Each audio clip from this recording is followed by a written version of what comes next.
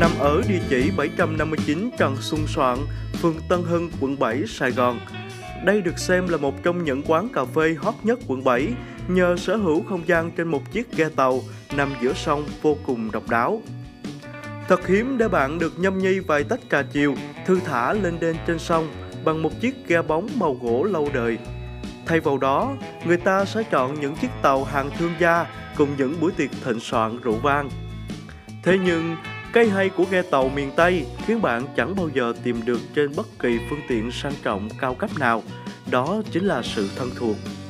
Chiếc ghe tuổi đời chừng chục năm được tân trang thành một quán cà phê đầy đủ bàn ghế, đèn điện. Ngồi ở đây cũng chính là một cách để bạn trở về thời Sài Gòn xa xưa, tức cảnh mà sinh tình. Quả thực, tìm hiểu mới thấy sống trên ghe xuồng cũng nhiều ý vị từ thuở xa xưa.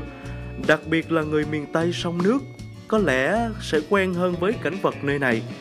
Nhớ ngày xưa, cứ chiều chiều là được dịp nghe các cô gái hát ca cổ trên ghe. Vài câu ca cứ đồng lại trên mặt nước làm say lòng bao người lữ khách. Còn bọn trẻ mới lớn, chúng sống với cha mẹ ở xuồng ghe, nô đùa, tắm sông, tập bơi lội, đi học trên chiếc ghe xuồng. Ngày nay người ta ít có dịp được nhìn thấy những chiếc ghe xuồng hay nếu có thấy cũng chỉ biết chứ chưa từng cảm nhận cuộc sống trên ghe là bao. Kể cả việc ngồi uống cà phê, nhâm nhi từng ngụm trà trên ghe.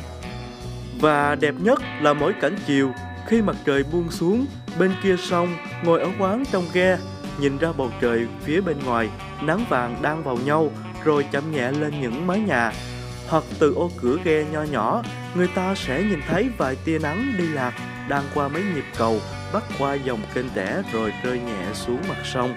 Chữ tình phải biết, quán đã mở được vài năm nay.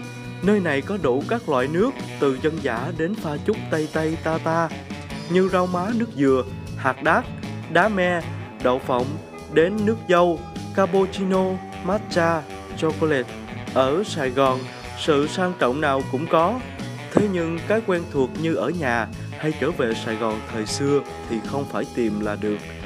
Như ở cái ghe chừng chục năm này, từng bộ bàn ghế đến cái cửa lối đi vào, cốc nước, cành lan gợi nhớ quê nhà không nguôi. Với ai lớn lên, đi về chợ nổi vào mỗi sáng, mỗi chiều thì nghe xuồng miền Tây sông nước từ xa xưa đã như là bạn nối khố tri ân của bao lớp trẻ, cũng như khi có tuổi đã về già.